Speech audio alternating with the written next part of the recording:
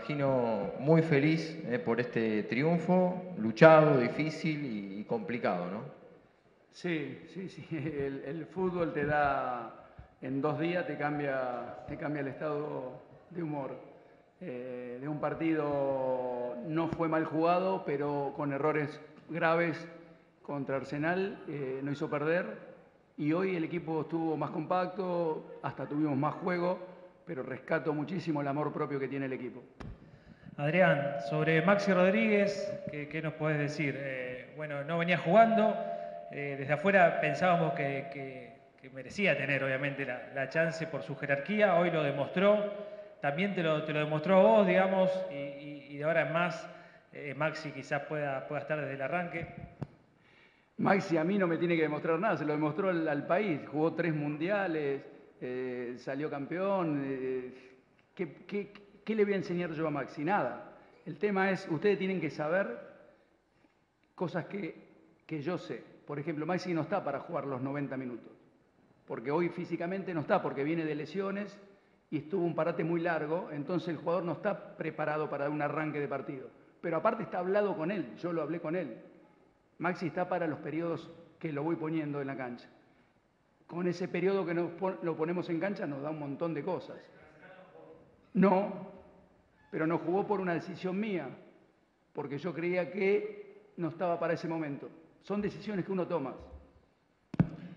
Eh, Adrián, quería volver un poco al juego. Le quería preguntar si considera que su equipo no jugó muy bien hoy. Quizás Central Córdoba merecía llevarse más, digo, por las situaciones que le generó. ¿Cómo lo vio usted? Y eso es relativo. Con, Arsenal nosotros no jugamos mal y no, nos llevamos nada. Eh, el fútbol es, es golpear en el momento justo, protegerse y esa cota de suerte que hay que tener en el fútbol para quedarte con el triunfo. Yo creo que, es meritorio, yo creo que es meritorio el, el, partido, es meritorio el triunfo. Newell lo peleó, una garra tremenda de los jugadores, tuvimos muy poco tiempo de recuperación, la verdad que yo valoro muchísimo lo, de hoy. Adrián, bueno, ¿por qué crees que le costó tal vez tanto llegar al gol? Bueno, de hecho vino de una pelota parada, pero a, la hora de armar juego, creo, si mal no me falla la memoria, cuando realizamos en el primer tiempo un remate de, Nacho y en el segundo tiempo muy pocas jugadas cerca del arco de, de Central Córdoba. Insisto, ¿por qué crees que le costó tanto generar juego? Los jugadores en cancha eran ofensivos. Eh, en el primer tiempo estaba Nico Castro, estaba Garro, estaba Nacho, Pablo Pérez suelto. Eh, los jugadores estaban malos pasajes de los marcadores de punta, el rival contrarrestó muchos, muchos avances nuestros. Y en el segundo tiempo lo volvimos a llenar de delanteros, entró el chico Nazareno, que para mi gusto la verdad que eh, lo hace bien y está bien, siguió Nacho en cancha, entró Maxi, eh, la parte ofensiva el, equipo la, sostiene, lleva,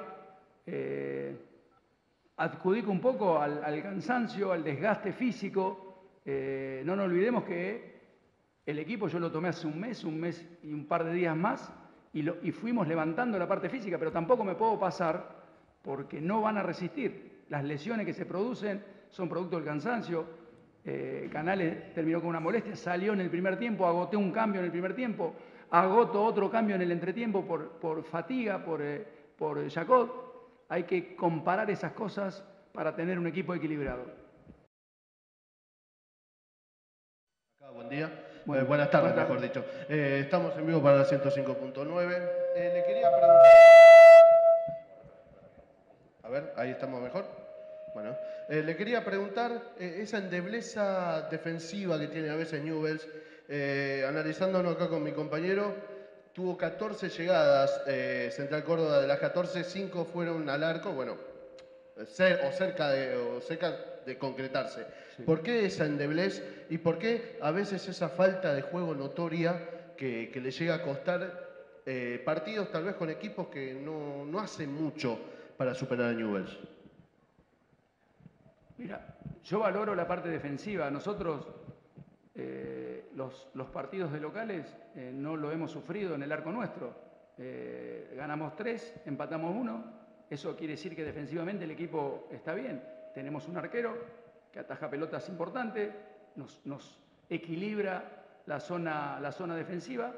Yo en otros partidos que he visto de Newell lo ha sufrido más, eso lo hemos corregido. y tenemos que corregir del medio para adelante, llegarle con mayor cantidad de gente, con, ser más agresivo, eso yo lo comparto. Yo me doy cuenta que el equipo a lo mejor carece de esa profundidad. Contra Arsenal tuvimos profundidad y recibimos tres goles. Hay que hacer un equilibrio, hay que buscarle el, el mecanismo justo para que el equipo sea ofensivo, pero que se defienda bien. Adrián Agostina Meneghetti de Radio Nacional. Eh, te consulto, decías que el partido sí no te termina de conformar, pero quiero saber si te vas conforme con el planteo táctico que hiciste, Sí. con este cambio que propusiste del partido pasado ahora. Eh, ¿qué, ¿Qué tenés para decir al respecto? Normalmente eh, lo- los planteos de los partidos lo hago a- viendo el rival, mucho viendo el rival y buscándole los jugadores nuestros para contrarrestar algunas posiciones del rival en la parte defensiva. De esa manera eh, equilibro el juego y de esa manera me gusta a mí, me gusta hacerlo a mí. Yo creo que el planteo táctico fue bueno, el mediocampo lo, lo controlamos, eh, pero a veces cuando te cubrís en un sector de la cancha te desproteges en otra. Eh, todo requiere un tiempo, un tiempo de entrenamiento, un tiempo de trabajo, un tiempo de conocimiento. Eh, estoy súper conforme con lo que el equipo me dio, con lo, con lo que me dan los jugadores. No le puedo reprochar nada por, yo valoro, vuelvo a reiterar, valoro mucho el esfuerzo del jugador. Adrián, sentí que eh, más allá de- del juego, eh, que tal vez no, no es el mejor, recuperaste algo muy importante para este Newell que es eh, el hecho de los resultados de local, algo que había complicado, se había complicado mucho en el, en el comienzo o en la parte media del campeonato con, muchas derrotas consecutivas. Como decías, tres triunfos, un empate. ¿Recuperaste un poco ese, poderío, por lo menos en el resultado de, local? Eso, eso es producto del, jugador, del compromiso del jugador. El jugador, lle- de alguna manera yo llegué a ellos con, con- este temple de, fortalecerlo en lo anímico, levantar situaciones. Eh, contra Independiente veníamos de una derrota de visitante eh, que, el equipo nuestro no jugó bien y pudimos levantar. Ahora volvimos a levantar después de un partido que no es que no se jugó bien, pero el resultado marcó que perdimos. Y el equipo se vuelve a levantar, eso es carácter. Adrián, le quería preguntar, porque no hablamos antes del partido, eh, dos jugadores importantes, Lema y Cristaldo, si lo va a contar para las próximas tres fechas. Y ojalá lo tuviera los dos, si los tuviera los cuento.